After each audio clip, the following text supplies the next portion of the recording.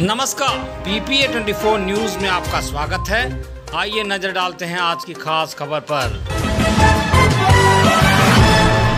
बलिदानी धरती गाजीपुर। शहीदी धरती गाजीपुर के लाल।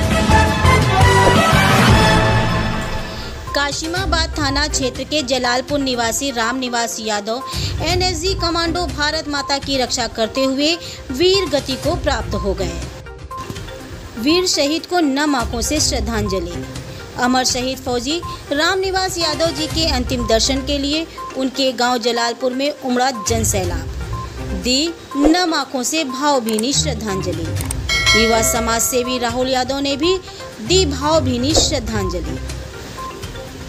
अपने हज़ारों नौजवानों के साथ शहीद राम निवास यादव का पार्थिव शरीर जैसे ही उनके गाजीपुर, कासिमाबाद, उनके पैतृक गाँव जलालपुर पहुँचा, वैसे ही लाखों की जनसंख्या में श्रद्धांजलि देने का हुजूम पूरे क्षेत्र में दौड़ पड़ा। युवा समाज सेवी राहुल यादव हज़ारों नौजवानों के साथ बंदे मातरम। जब तक सूरज चाँद रहेगा, शहीद राम निवास यादव का नाम रहेगा। नारों के साथ शहीद राम निवास को अंतिम विदाई दी गई।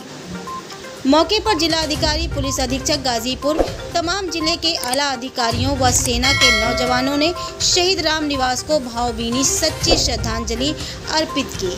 युवा समाज से भी राहुल यादव का कहना है कि जब भी भारत माता की कुर्बानी देने की बात आती है तो पूरे देश में गाजीपुर के नौजवान अपने प्राणों की आहुति देने में सबसे आगे रहते हैं।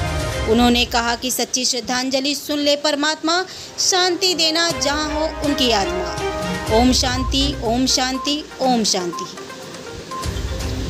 पीपीए 24 टीवी न्यूज़ से दीपक यादव की ये खास रिपोर्ट।